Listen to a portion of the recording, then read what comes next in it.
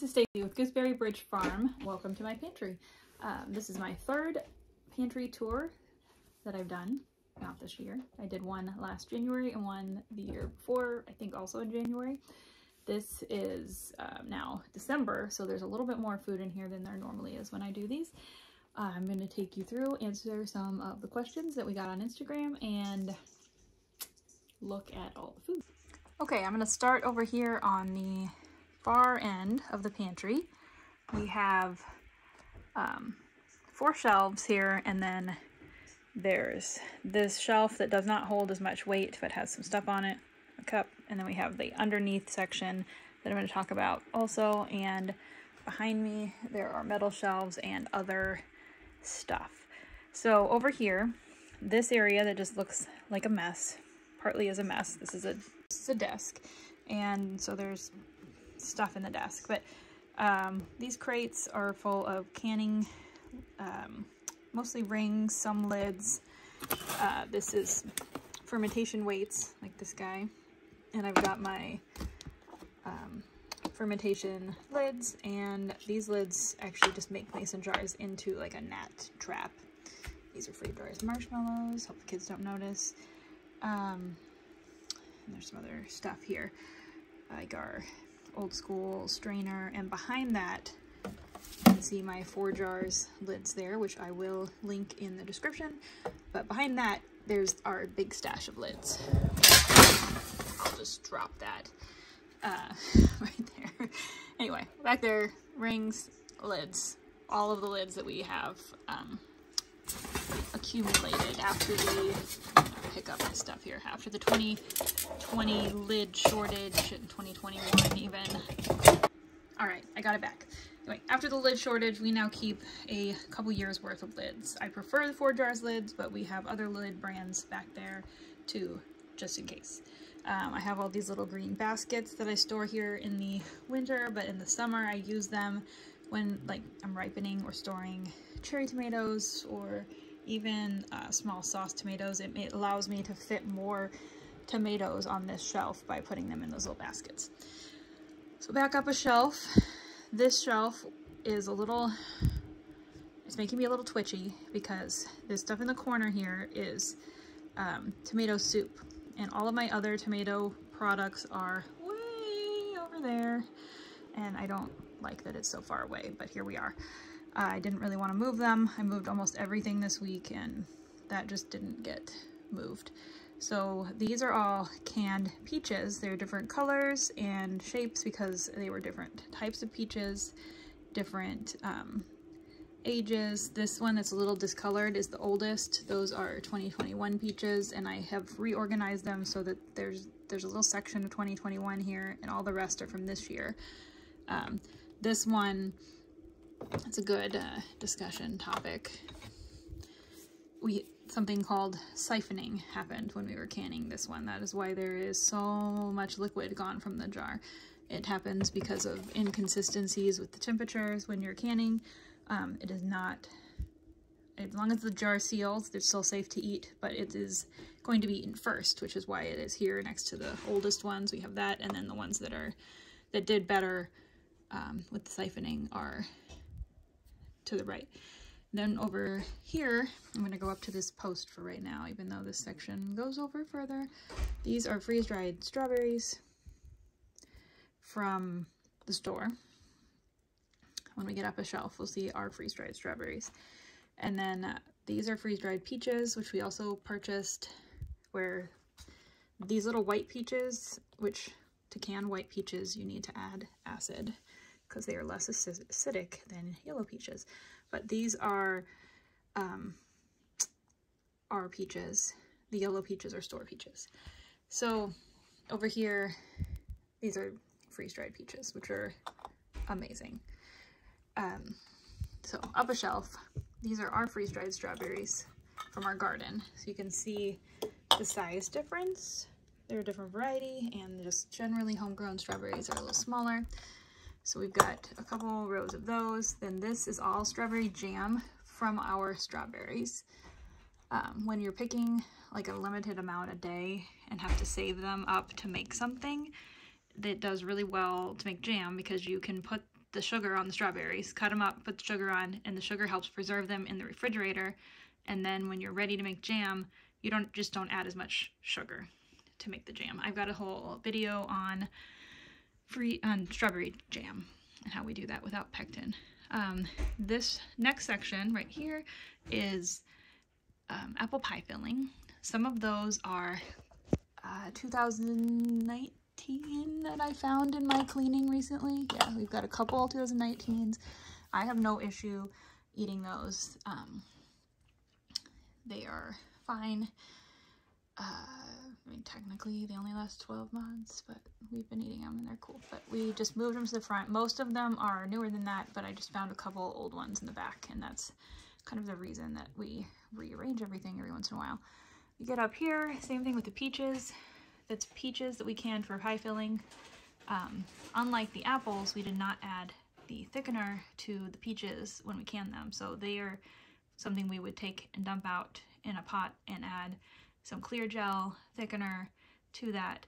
They can better without it, so we just didn't put it in, but we would add it to the peaches in light syrup, and then we would have a pie filling or cobbler filling, or we could just eat them. The ones right next to them that are smaller are our peaches, right there, just like the ones down here. And we just did a few quarts. Next to that is blackberries.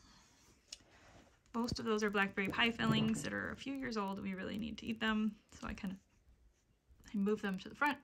Right next to that, you can see that off color little jar right here. This is strawberry pie filling. Strawberries really don't hold their color well with any light at all. So I have that one showing because it was already faded, but I hid all of the other strawberries back in the back and they're still red. So I just don't get them out. I just have that one there to show myself where they are. Next to that, there's a few quarts of freeze-dried blackberries. We've used most of those. We don't really like to eat them because of the seeds, but they are good. But you can also use them to make other things like blackberry jelly, or um, we've been using them for blackberry lemonade. We basically infuse water with them and then make lemonade from the blackberry water, and it is super yummy.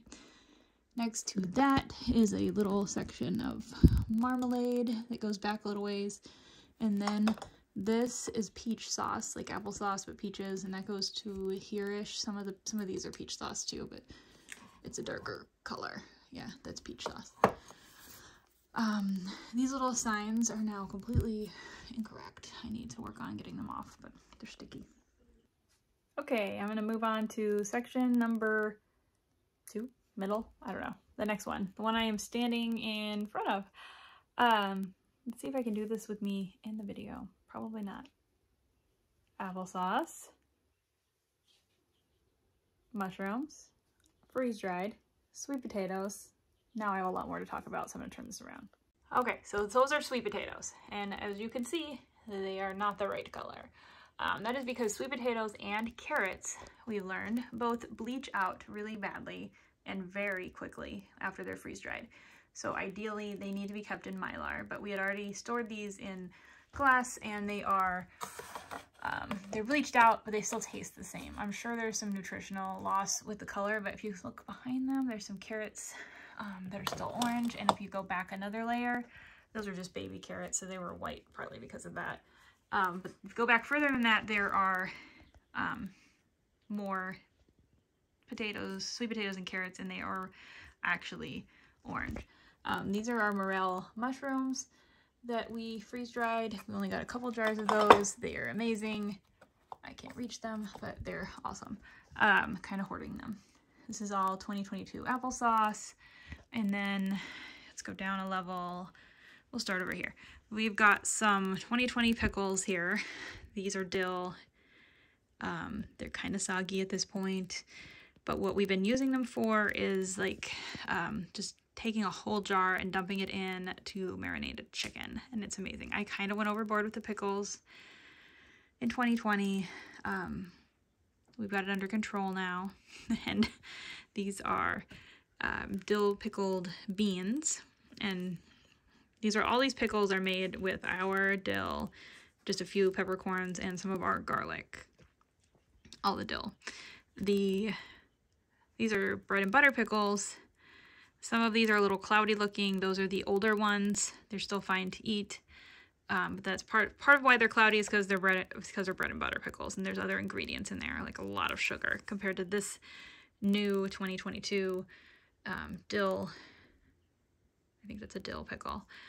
Um, I also did some other flavors in 2022 I'll talk about in a second. And then these are sweet relish up here and back there. This relish has more like a turmeric in it that made it kind of weird darker color than um, that was a 2021 relish. We still have a few more of those. And then these back here are like lighter green. There you go. Um, greenish, whitish. Those are the 2022 relish that I did not add turmeric to. Um, the relish you buy at the store that's so bright green, that's food coloring. So that's, this is what real relish looks like. So these pickles are, see if I can pull one out without knocking this stuff over, ranch pickles. And I made those by putting in all of the seasonings um, and herbs that I would have put into ranch dressing. So pepper, garlic, there's parsley, there are chives in there, all fresh from our garden, and um, also a grape leaf that's supposed to help with crispness. Okay, next section we have pickled Thai chili peppers, pickled jalapenos, lots more pickled jalapenos, pickled jalapeno relish, cowboy candy, just sweet pickled jalapenos. Cowboy candy with really, really pretty peppers. Look at that. Um, this is all organized in order of variety of pickled pepper and age. So these are older than these. These are older than these, these are older than these, and then we can know which ones to use first, except this is a 2019 that's just kind of stuck out there on the end. Um, I make people crazy with my jars hanging off the ledges, but they're very, um, they're not going anywhere unless we have a catastrophic earthquake, so we're not going to talk about that. All right, now we're down on the bottom shelf of this section. This is mostly jams and jellies, but this right here is all um, lemon and lime juice that was canned. Canning, the canning process does alter the vitamin C in lemon and lime juice. So if you have the ability to, freezing it would be better um, nutritionally, but this works also for using it in recipes or things you're going to cook anyway. Um, this section is, these are all just different jams and jellies. It goes up to about here, and then I've got a random pickle jar there because I needed it a space for it, pickled carrots. Um, but this section is the section of older jams and jellies and syrups that we're going to use first. But these are all from this year. So this is, and you, I already showed you the strawberry jam that we add to this, which is like almost as big as this whole section. This is all peach jam. I believe this is, yeah, peach jelly on top. There's also some smaller peach jams. This section is uh, blackberry, seedless blackberry jam, blackberry jam with the seeds still in it, and um, there was some other kind of blackberry jelly, maybe? Blackberry jelly right there. And then we have mulberry um, jelly. There's a little row of that in there. Then we have peach jelly, which peach jelly is made from the skins and pits, where peach jam is made from the whole fruit. Then we've got a couple jars of pear butter here that's kind of weird looking, but it's fine. From our pears, we've just got two half pints of that left. And then this is grape jelly from our grapes. We've got three half pints of that. So just some of the jellies just make a really small amount, but I'm excited about this. This might actually be grape jam. Yeah, no, it's jelly. Um, cherry jam. And then the rest of these are syrups um, lilac, elderflower, and peach, and spiced peach. Uh, simple syrups. So they were all of them are simple syrups. There were this one that is um, more of a.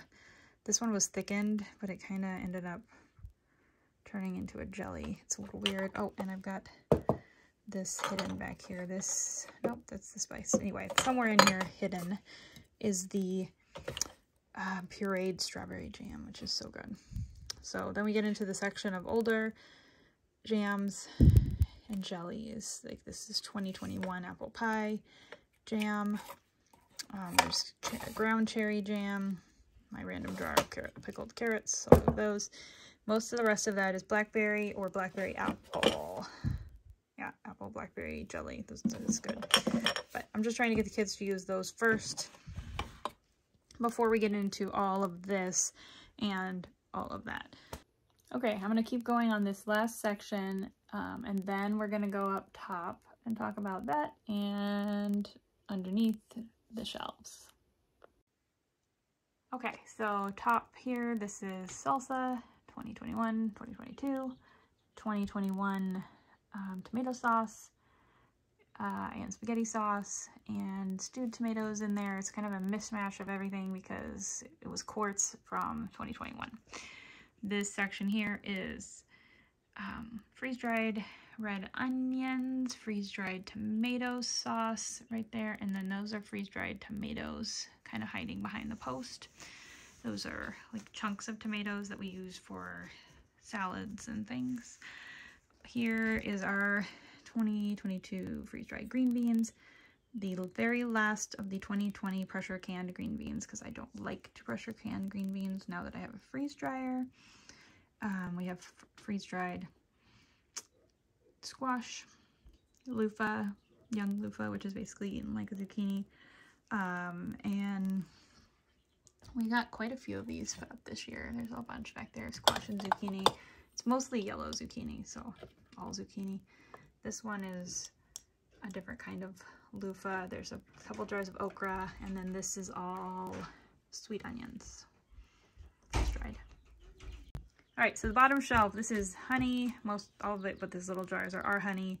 Um, I tried to put all the 2021 honey down here, but some of it's 2022.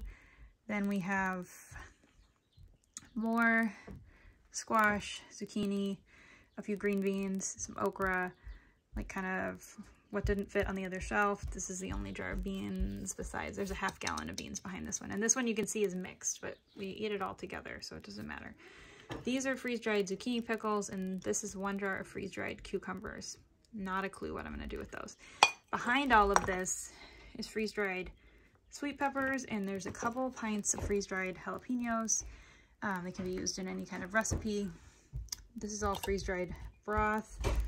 This is a mixture, again, freeze-dried salsa. There's freeze-dried basil. It's kind of just a mismatch that I needed to get um, into a jar, so it's all in there. I don't really know what we'll do with this, but it, it probably tastes good. Jalapenos, all that white is garlic, and then salsa, we could probably throw it in some chicken or something. It'd be good. This is pressure canned chili. I have four jars of that. I tried to make some more, but we had some issues with the pressure canner. This is all freeze-dried greens, except for these two jars of broccoli, which freeze-dried broccoli works really well. Um, this is kale. There's also spinach, parsley, and celery powder. Kale and spinach can be used in pretty much anything because I don't put a lot of flavor into things, but the celery and the parsley I have to be a little more careful with. Teddy's here to say hi. You want to say hi, Teddy? Never mind. Not saying hi. Okay. All right, we're gonna go up to the top shelf now. You can see all the way across, we have stuff on the top shelf and all of this hanging down is lavender that I need to get put away, but it's kind of pretty in here. We have so much lavender, I don't really, I'm not really motivated to do that. All right, top shelf, three pints of freeze-dried goat milk. That's all we have left from last year. We're saving it. It's freeze-dried, it's still good. It does not taste very good, but we use it for emergencies animal babies and whatnot, they can still drink it. Um, it just tastes like old goat milk. Uh, the next is raw eggs. If you've watched my pantry tours before, you can see the scrambled cooked eggs are not there anymore. That's because they did not keep as well. I don't know if it was the light in the jars or if they were just not completely freeze-dried. They don't taste very good anymore. So we are slowly um, rehydrating them and feeding them to the chickens who don't seem to mind. They taste funky. Um, this is all, almost all salsa. There's actually some other stuff up there. Um, more 2022 salsa. So when we use this up, we'll pull that down. And this is all the 2022 half spaghetti sauce, which is seasoned, and half plain tomato sauce um, that we can pull down whenever we use up this last of the old stuff. That keeps us from using the new ones since I put it up so high. We've got a little section of herb salts. And we've got a ridiculous amount of hot sauce. Those are half pints, so it's really not that ridiculous, but it also kind of is. Um, but it's so good. And I've still got a lot of that in the fridge too, because it keeps a very long time in the refrigerator. Then we have the 2022 honey. Those are quarts. And there's four half gallons. And then these are freeze-dried white potatoes that we grew. Um, they just kind of ended up up there. And we don't really we need them yet, so there they are. All right, now we're back to the bottom shelf. We already went over the weird jar storage area. So down here, we're getting into stuff we don't grow. These are um, sprouting seeds for microgreens and sprouts. This is some Azure Standard stuff in jars. We've got rice and there's some beans in there. This entire box is chocolate chips from Costco and from Azure um, that I'm kind of hiding in a new spot because kids haven't figured out they're there yet. Um, next to that, this area is all, you know, hiding in plain sight. This is all fermenting uh, apple cider vinegar from apple scraps, from all of the applesauce and stuff we made in the fall. They're not quite done. I just checked on them yesterday. Some are a little further along. Like this one looks further along, but uh, behind that is a secret stash of small apple sauces. You're not listening, are you, Teddy? Under that is lemongrass in a like a tote sealed thing that is um, for tea. We have various honeys here, um, infused honeys. This is garlic fermented honey that used to have a one of these lids, but it doesn't anymore because it's done. Um, and these are um, lilac infused honey. Lilacs are edible, so you can eat the whole thing. And it's a little bit fermented, which is good in honey. These are freeze-dried foods that we have started eating and need to finish. Uh, some potatoes, some onions, some broth, and I don't know what that one is. Um, these are infusing oils where I ran out of room in my infused oils cabinet. So this one's lavender and this one is lilac, which really needs to be strained. But that's the fun part about infusing oils is that they you can let it go as long as you want. That's from May. So um, thanks for that, Teddy. These are um, various squash we grew. Long Island cheese, pumpkins. These were actually grown by a friend um, candy roaster squash. Then we've got some butternuts and some what I call yamkins. And this little weird green one was a volunteer in our yard. And it wasn't quite mature when it froze, but um, I, am assuming it's a cross. And that's how it ended up in our yard. This little section here is some stuff I need to put away, but these are herb salts that we're currently using. Um, some very old jalapeno jelly that I found cleaning that we might, may or may not use. We're gonna case by case basis that. This is another jar of pickles that was kind of old. And these are applesauce that was not very good. So we use it for baking. Um, and I need to make something with it. So that's why it is there. You get over here, these are navy beans and other various beans. Those are actually the 2021 beans that I never got out of the shells. And then we also have all of these. I'm going to be trying um, some other methods to get those out soon.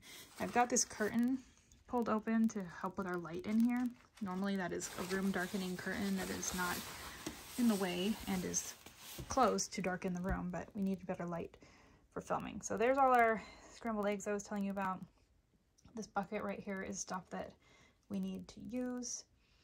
Um, use first. Either I didn't label it in the Mylar bag or it feels um, like it's not keeping its stain dry. So I was going to open it first.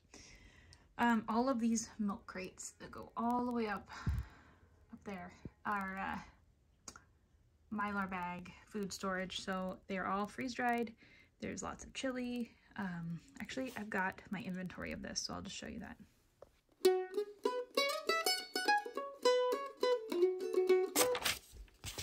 All right, there we go. Mylar bags. This doesn't help. Well, anyway, chili, blackberries, salsa, tomato soup, watermelon, green beans, zucchini, uh, zucchini noodles, raw eggs, carrots, diced tomatoes, mixed veggies, like all sorts of stuff. All right, last shelf is the floor. Um, so we have some buckets here. We have um, transitioned our whole family to gluten-free, so there's not actually flour in that bucket. Thanks, Teddy. That's nice of you. Um, that's sorghum flour or sorghum grain. There's millet in one bucket. This bucket is sugar. There's some rice. These are gluten-free oats. Um, there's also some cornmeal and some other stuff back there. Teddy came to help. These crates are my new system for holding uh, empty jars. It's working pretty well so far. It's not going to work so well once more of them are emptied, but I'm hoping that once enough are emptied, I mean, as you can kind of tell by looking at this, there are like one, two, three, four, five, six, seven and a half full milk crates of jars. Um, there is not that much space on these shelves at all. We just do not have room to store all of the jars when they're full. Um, so a lot of that, when those jars were full, was stacked on the floor. We are going to be adding more shelves at some point because this is just not enough. Um, anyway, so more jars. Then hopefully we'll be able to store the empties next to the full ones. The main issue with that is like you take out, you know, one of these, one of these, one of these, one of these, and then you have all these jars to put away, but no big space to put them in. So I end up having to scoot everything down and make sections for empties, um, which is why it's good to have a buffer of uh, milk crates. so, hey, what are you doing with the scissors, bud? No, not right now. Put it back. Um, okay, so in these totes here, one of them has more jars, a pressure cooker, and inside of there is some sugar. Um, we like to keep a lot of sugar on hand because we feed it to our bees and we bake a lot and we keep a ridiculous amount of sugar usually. Anyway, and the next tote over has um, chips and crackers and that sort of thing and for fun. Down at the end of the pantry, we have some totes or some crates still. These are onions. You can see they're growing because this is not the best environment for them. We were trying to freeze dry them all, but didn't get to it.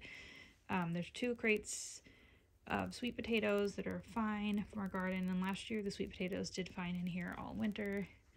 Behind that, there's a couple crates full of loofahs, a whole bunch of paper plates, flower pressing stuff, and this tote has more oats in it. I think those are quick oats. What do you think, Teddy? Quick oats. Yeah, anyway, then we got some extra baskets, aprons. This tote is actually full of dehydrated chicken feet that we feed to the dogs. And I'm thinking I'm to need a whole nother video to go through this side, but I'll give you a really quick overview. So down here, grain mill, uh, sous vide, some other appliances. Obviously, lots and lots of rims. We don't keep rims on the canned goods. This whole shelf with my beautiful Star Wars curtain repurposed there is mostly freeze-dried herbs. Like both of these boxes are freeze-dried herbs. This is freeze-dried crushed basil, freeze-dried parsley, freeze-dried chives. Um, there's also freeze-dried tomato powder, green tomato powder, and then some regular dried herbs like rosemary, and I don't even know what else. They're all herbs, and I don't really like having to keep them here because I can't see what I have but I had to move them off of the shelves behind me because of obvious reasons. This shelf has um, a lot of stuff. So this is mostly almond flour, coconut flour. Um, there's a couple bags of quick oats and some other organic oats. But then all of these little jars are mostly like extra seasonings. There's some peppercorns. This is popcorn that we grew. This is citric acid that we use in canning and cheese making. Popcorn. Yep, popcorn. Um, this is cumin, obviously. Up here, there's like pizza seasoning and nutritional yeast and Italian seasoning and taco seasoning and all sorts of stuff that we buy in bulk. And then I put it in these jars. And then this is um, freeze-dried lemon zest. We have turmeric. We have a bunch of dried peppers. And then this box is just here to sit on top of these other jars with more of that kind of stuff. We go above that. We have all of the Ziploc bags and parchment paper and foil that we could ever need. This section is all packaging for baked goods for sale and storage up there. Stuff we don't want the kids to reach. Pressure cooker, um, beans from the store, and that looks like it's gonna fall off, but it's really not my crock pot stash. So then we go to this side. We've got some empty stuff on the bottom, then um, vinegar, uh, pasta, muffin tins, some snacks, all sorts of small appliances, choppers, apple peeler, quarter, whatever, more appliances. All these appliances I really want to get out of here so that I can put more food. But hey. Um, pasta again. These are all beans that we've grown, so they're very pretty. I'll show you. Look at that. Mixed dry beans. Some of them we didn't grow, I guess. There's some chickpeas, and we haven't grown chickpeas, but there's some other dried beans. Up a shelf, and we have tea and coffee, dandelion tea, olive oil, griddle. I don't think there's anything in that box. Popsicle molds, pecan shells for smoking, waffle iron, batteries, soap and lotion making, and big dishes. Okay, one more shelf. Two more shelves. I lied. Mommy. So, another shelf. Yes, buddy. All right, last shelf. Convenience pantry. Um, snacks. I've got a little fruit thing here full of bars and stuff I don't want the kids to reach. We got oil, um, some taco shells, cookies, lemon juice, garlic, organic ketchup, which I could make, but hey, here we are. Convenience-y beans, um, discount store dressing. We do usually make our own, but here we are. This is so much easier. Um, seasonings and nut butters, hummus mix, organic mustard, more dressings. These were 50 cents a bottle, so when they get that cheap and they're not even expired, we buy them all. Um, thanks for your help, Teddy. And these are various seeds. Sesame seeds, pumpkin seeds, chia seeds, and sunflower, and probably some flax. The bottom shelf is stuff I really need to clean out. Most of these are homemade vinegars, and then there's some coconut oil. Oh, Chetty's checking out this dressing. All right, hope you enjoyed my pantry tour. I'm going to be doing some other pantry videos this month-ish. You know how I've been with YouTube. We're hoping to get better now. See you next time.